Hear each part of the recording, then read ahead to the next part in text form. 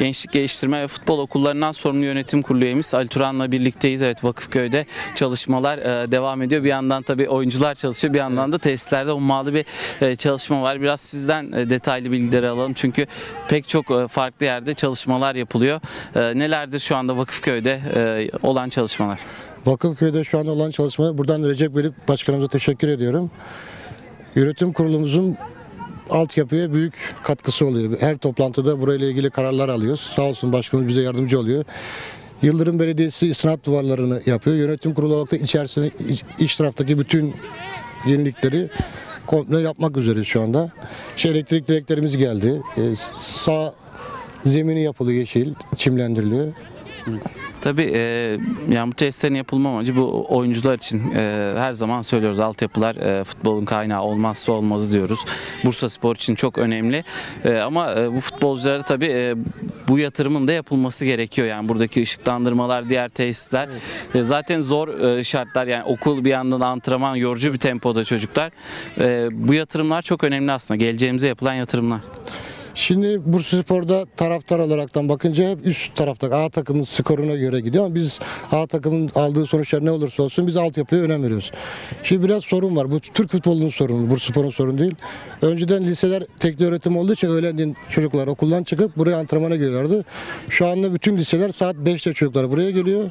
5'ten sonra bu saatte 8'de 9'a kadar antrenman yapıyorlar. 9'da evlerine gidiyorlar. Bu büyük bir sorun. Çocuk 6.30'da evinden çıkıyor. 9'da tekrar evine gidiyor. Bu ne zaman ders çalışacak ve hocalar burada nasıl randıman alacak? Bu ışıklandırma sistemini işte buraya kurup bu antrenman sahasında bir yeni değişikliğe gittik. Bir de bu eğitim olayına biz çok önem veriyoruz. İnşallah buraya da Bursaspor'un okulunu açacağız, lisesini açacağız. Belediye başkanından söz aldık. Bu yan taraftaki yere bir Bursaspor Koleji açarsak, Bursaspor Koleji demeyelim ama Milli Eğitim'in okulu.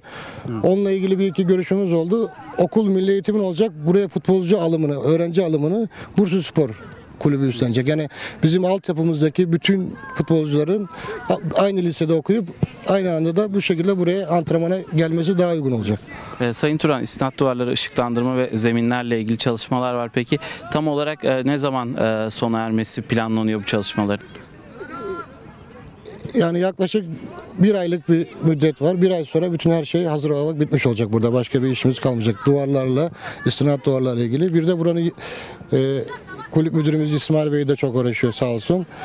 Buranın 78 dönüm arazinin yeri. Biz burayı da Bursaspor'a devir hakkını almak istiyoruz. Onunla ilgili başkanımız çok iyi çalışmaları var. Eğer orayı da bunu da Bursaspor'a kazandırırsak hakikaten bu büyük bir iş yapmış olacağız.